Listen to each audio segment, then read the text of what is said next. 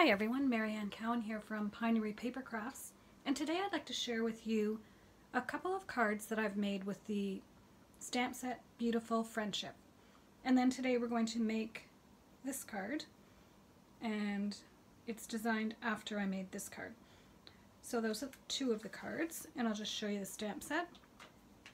The stamp set is called Beautiful Friendship and it's a distinctive stamp set photopolymer. So just by stamping it once, you get all the dimension as if you had stamped the card two or three times. And that's what I really love about this stamp set. So that's the stamp set we're going to be using. We're also going to be using this background stamp called Birch. And I was really sad when the wood grain paper was not in the new catalog because I love using anything with wood grain. So this Birch background stamp allows you to make this image on anything you want. So I think that's really awesome. And I'll just show you some of the other cards that I've made using this stamp set. So as I said, I really like it because of the way that it stamps the images. And also you can do simple stamping with just ink and paper. Or you can um, add some ribbon to make your cards a little fancier. And the, the um, sentiments are really beautiful too. This is So Very Happy to Know You and this is using that one of our new in colors called Seaside Spray. And there's a matching envelope, and I always like to stamp inside my cards as well. This is an envelope that goes with this card, and I got this design bought from Karen Delot, and she calls it an all-around card. I've never heard of that before, but it's really quite beautiful. You just stamp all around the inside and the outside, as well as all around the envelope. And I think that is just beautiful. And again, all it is is ink and paper. Here's another one, similar to the first one that I showed you, just using different colors. And here we're using Highland Heather. Here's another one using that Seaside Spray. Again, really just ink and paper and a little bit of linen thread. And I like to add vellum to a lot of my cards just to add that feminine touch. Here's one using Daffodil Delight. And I've also used the subtle embossing folder and again some vellum. It's just so, so beautiful. Now there aren't any dies to go with this stamp set, which is fine because it's very, very easy to fussy cut. And I'm going to show you that today in the card that we make. So here I've just done the background of the um, hydrangea and then did the flower in Rococo Rose, one of the new in colors as well. Added a little bow. I like adding bows to my cards. Here's a very soft, subtle one. Thank you. Again, just several layers. I've used the stitched rectangles and again a little bit of vellum and the subtle embossing folder as well. This one, again, just ink and paper, but the stamp is so beautiful that sometimes that's all you need. And I've used several different colors, Highland Heather, um, Gorgeous Grape, and Melon Mambo. And here's a couple where I've um, used a couple of different colors just to add a little bit of uh, fun to the card. So we've got Melon Mambo, Flirty Flamingo, and Mango Melody. And then I did two cards and just changed up the design and the background color just a little bit. So let's get started on the one that we're going to make today.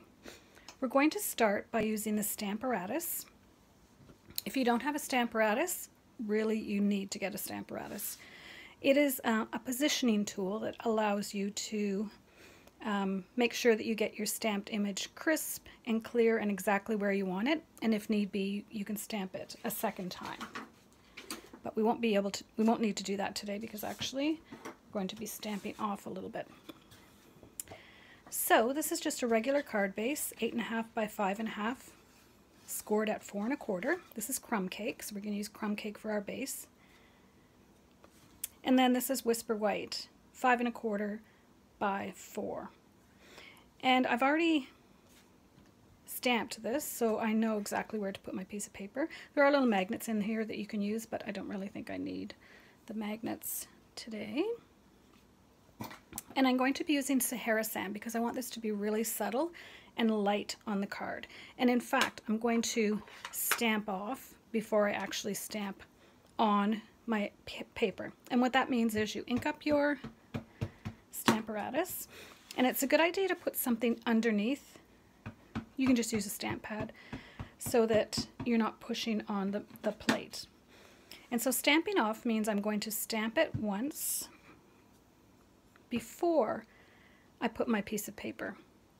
Now it might get a little bit of ink on the back, but that's fine because we're using the other side. And then I apply a lot of pressure. Make sure it gets a good even image. But the one thing great about the Stamparatus, if it doesn't, I can stamp it again. Although then I would have had to use a magnet. And there we go. That's perfect. So I'll get the Stamparatus out of the way. If you're doing multiples of cards, the Stamparatus is really an important tool to have because it allows you to create multiple cards quite quickly.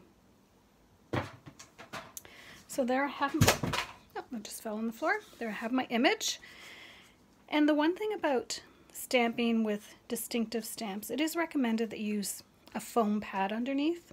So this is just one of our regular piercing pads. I put a little piece of paper on it just so that the ink doesn't get all over the pad. But if it does, you can just wash it off with um, water under the tap. And the colors that I'm using today are Flirty Flamingo and Granny Apple Green. For this card, I also used Coastal Cabana. So I did the first flower in Coastal Cabana, then added the Flirty Flamingo.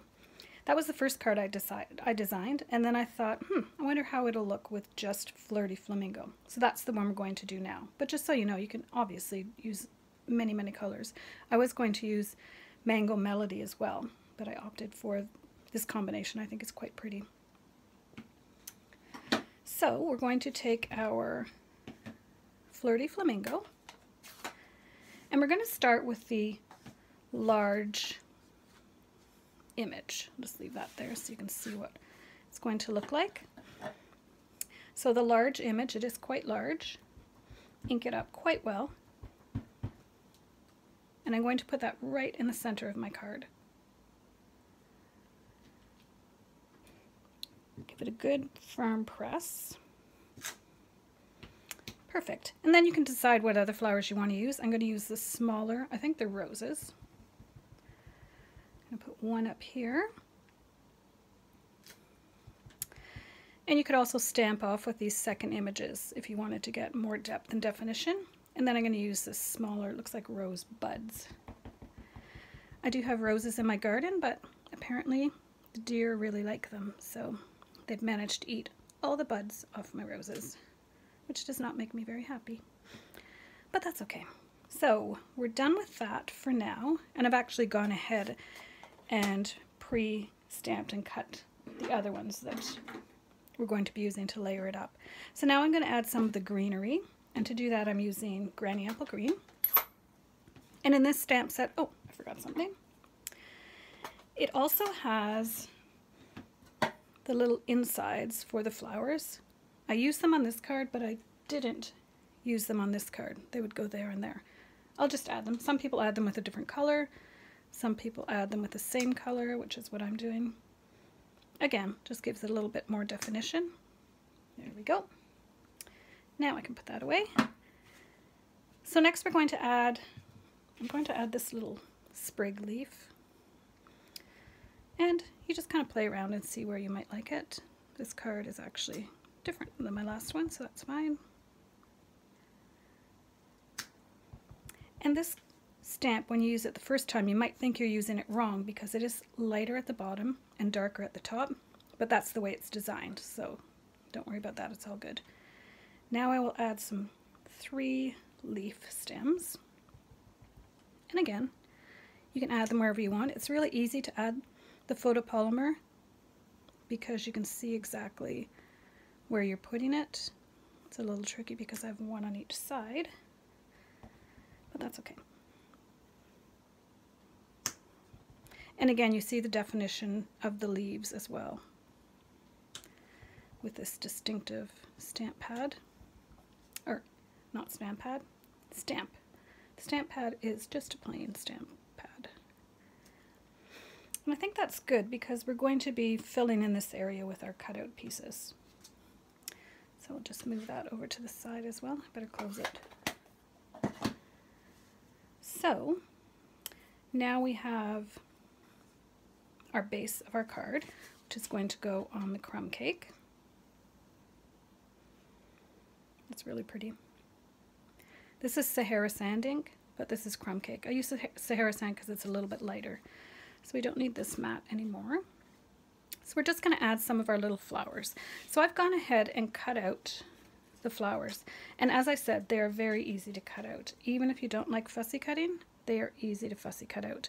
And I'm just going to show you a little trick for cutting out any images um, that you want to add to your card. The first thing is you need really good scissors. These are the Stampin' Up! paper snips, and these are the best ones I've ever found for fussy cutting small areas. And the trick when you're fussy cutting is to move the paper as opposed to your scissors. I'm a former primary teacher, so I've done a lot of fussy cutting. So if you just move the paper instead of your scissors, it goes really quite quickly. It hardly took me any time to fussy cut out all of these images. So then you want to think about your design and where you're going to put things. So I think I'll put that one there. I already had some dimensionals on that one because I had it ready for the last card, but then I didn't use it. And even though it's a small area, I did put two dimensionals on just so that it would pop up nicely. And then I think this little one, I'm going to add a glue dot. So let's put that one first. Using a glue dot. Sometimes it's tricky to get them behind, so if I kind of know where I want it, I'll just slide it right in there. And then I'll be thinking about where I want my leaves because I might want to add some of those on top as well. So I'm going to have one of the three leaf stems over here. And then this little one that I just cut out, I think I'll put it right. One thing about paper too, you can put things over and under. So I kind of like that. All right, let's see how that's going to look. We might need to move something around or maybe add, I think we need to add one more leaf. Remembering you can go a little bit off the edge, but not too much because then you will be outside of the card area. Okay, we're just going to add one more. And I'm going to do this one with glue. I did this last time. It worked pretty well. Just because sometimes the glue dot sticks not exactly where I want it. And the other thing you can do is just cut your ends a little bit longer so it makes it easier to tuck them inside. I'm going to tuck this one right here and see how that looks. Okay, I like that. We could add more, but sometimes less is more. So I'm going to stop there. Oh, and then my bow. So the bow is made using the flax ribbon, and what I've done is just taken my snips and cut off the edge, and then I'm just going to pull a couple of pieces off. And I have this one that I cut off. And when you have a really thin thread like this, linen thread or ribbon it's called, twine. Sometimes I like to do like two or three strands so it makes it a little more substantial a bow. There we go. Just going to trim that so it's all the same size. Add a little glue dot. Hmm. I think I'll put it kind of in the same spot. And Then I'll just take my Tombow glue, or you could use snail, whichever you like.